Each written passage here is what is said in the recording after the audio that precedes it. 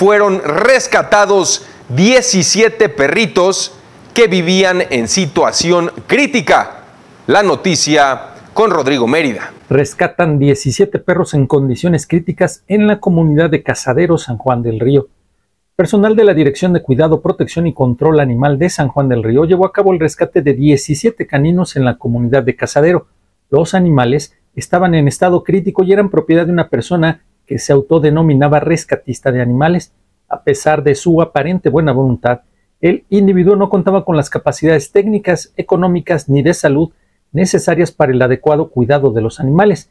Las condiciones en las que se encontraban los perros revelaron serias infracciones al reglamento, constituyendo casos de maltrato animal. Los caninos presentaban signos de hacinamiento, desnutrición, deshidratación, parasitosis, falta de vacunas y vivían en condiciones extremadamente antihigiénicas.